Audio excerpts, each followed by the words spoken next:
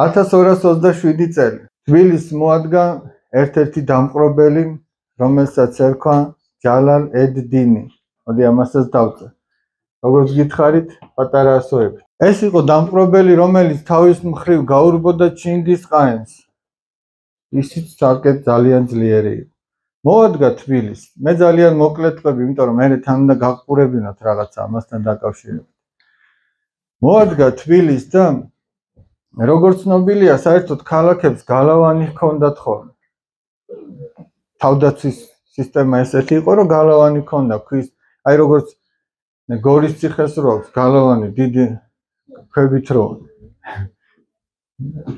ვიღაცები რომ მიიყვანეს მე გორის ციხე უნდა დავანგრიოთო და წერაქვებით რომ მიაძნენ და მოკლედ დაიღანენ ოფლი მოიდინეს და ერთი კოცე ჩამოაგდეს და მე მიხვდნენ რომ გვეხუმრებიან იმ გალავნის დანგრევა ეგრე ადვილი არ იყო მაგრამ ღალატი რო თავსი ჩენდა ხოლმე ყველაფერი ფუჭდებოდა.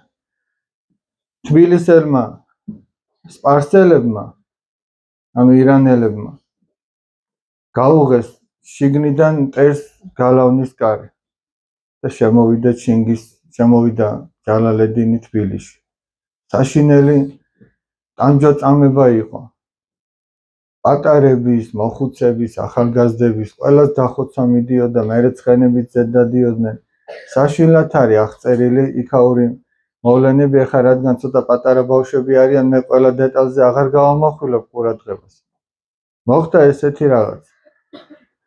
აი ამ ხოცაჟლეტვის შემდეგ სიონის ტაძარს აი ეს არის სიონის ტაძარი აქ რო ჩანს თბილისში ეს ხდება იქ სადაც არის სიონის ტაძარი არის მეტეხის ხიდი და მეტეხის ტაძარი სიონის ტაძარს როგორც ჩანს ნახე აქ ჩანს რომ ცეცხლი უკიდია ამ კაცმა ჯალალედინმა მოარღვევინა გუმბათი და ესე თავისი ბილწი დასაჯდომი გააკეთა. იქ დაჯდა და იქიდან უყურებდა რა ხდებოდა ქვემოთ. და რა ხდებოდა. მეტეხის ხიდზე ეს მაშინდელი მეტეხის ხიდია, ეხა დღეს რომ თქვარი ცოტა დაბლა დაიწევს ხომ, იმ ხიდის ნანგრევები ჩანს რაღაცა. დღეს სხვა ხიდია ეხა თბილისში მეტეხის ხიდი. მეტეხის ხიდზე გამოაბძანეს ყოვლადწმინდა ღვთისმშობლის და მაცხოვრის ხატები. გამოაბძანეს ვამბობ ჩვენ ვამბობთ ესე რომ გამოაბძანეს, იმიტომ რომ ჩვენ ვიცით რომ ამ სიწმინდეების მიმართ ძალიან დიდი მოგზალება და მოწიწება გმართებს. თორე მათ შეიძლება კი არ გამოაბძანეს, გამოიტანეს და დაყარეს სულაც. იმიტომ რომ მათთვის ეს არაფერს არ ნიშნავდა. მაგრამ ჩვენ ასე ვამბობთ მოგზალების გამო ამ ხატების მიმართ. მეტეს ხიდზე დააწყვეს და უთხრეს ერთადერთი შანსი გადარჩენის აქვს იმას, აი აქ ნახე, უამრავი ხალხია თავმოყრილი. იქით არავინ არ არის. ეუბნებიან, აი ამ მეტეხის ხიდზე თუ გადაივლით და ხატებს ფეხს დააბიჯებთ, შეგიძლიათ გადახვიდეთ და ხელს არ გახლებთ, ცოცხალი დარჩებით. ოღონ ამ ხიდზე გადასვლა და ხატების ფეხის დაბიჯება ნიშნავდა, რომ შენ ქრისტეზე უარს ამბობ. ეს კი ნიშნავდა, რომ შენ ღირსეულ სიცოცხლეზე და მარადიულ სიცოცხლეზე უარს ამბობ. იქით ვინც გადავიდოდა მაგაზე შოთა რუსთაველმა რა თქვა? ჯობს სიცოცხლესა ნაძრახსა სიკვდილის სახელოვანი. ეგეთი ნაძრახი უღირსი სიცოცხლე, აბა რადგინდა, რა ფასია? და აი ამ ხალხმა იცოდა რომ ეს თვითსოფელი ხან მოკლეა და ყოველასთვის დამთავრდება მაგრამ არსებობს მარადიული სიცოცხლე რომელიც არასოდეს არ მთავრდება ამიტომაც არც ერთმა ადამიანმა არ გადაიარა მეტეხის ხიდზე და არ დააბიჯა ფეხი ხატებს და ასეთი იცი რამდენი იყო ასეთი იყო 100000 მოწამე.